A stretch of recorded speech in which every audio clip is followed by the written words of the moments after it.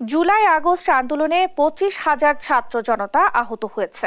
এর মধ্যে গুরুতর আহতদের প্রয়োজনে বিদেশে পাঠানো হবে বলে জানিয়েছেন অতিরিক্ত স্বাস্থ্য সচিব হেলাল উদ্দিন।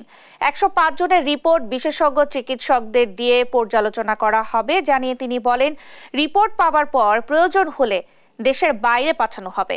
আহতদের চিকিৎসার বিষয়ে সরকার সর্বোচ্চ আন্তরিক বলে উল্লেখ করেন এই কর্মকর্তা।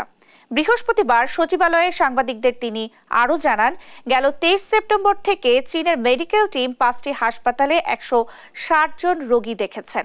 তাদের প্রতিবেদন চীনের বিশেষজ্ঞ চিকিৎসকরা দেখার পর পরবর্তী পদক্ষেপ নেওয়া হবে।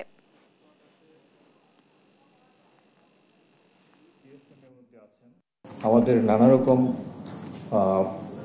সীমাবদ্ধতার মধ্যেও তারা খুব আন্তরিকভাবে পাঁচটা হাসপাতাল ভিজিট করেছেন। তারা আমাদের ডক্টরদেরকে তাদের তরফ থেকে যে সমস্ত পরামর্শ দেওয়ার প্রয়োজন ছিল সেগুলো দিয়েছেন।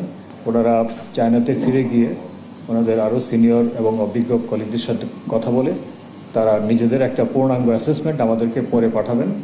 তার ভিত্তিতে আমাদের যদি কোনো আরও ভালো ট্রিটমেন্ট করার প্রয়োজন হয়, সেটা আমরা নিশ্চয়ই করব।